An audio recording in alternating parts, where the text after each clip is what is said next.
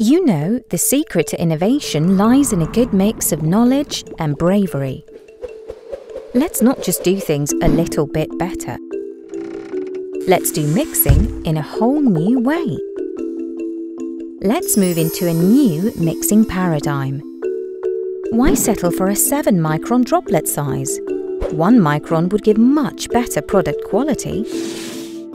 Why can't the mixer also do the deaeration? That's already a third of the mixer investment saved. And while we're at it, do the homogenization too. That's another third. Oh, and what if we could skip the evaporator? An evaporator costs three times as much as the mixer. And why not do it with, say, half the energy? Stop dreaming? No, never stop dreaming. Here's how we have just done all of this, with a good mix of knowledge and bravery. 1.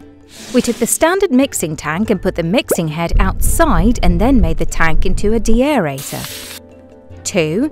We created a game-changing mixing head that hits the product at least 15 times in one pass. 3. We ensured no air is added in the mixing phase. And this is just a taste of things to come in the new mixing paradigm. Whoever you are, whichever your food, this is a good mix of knowledge and bravery.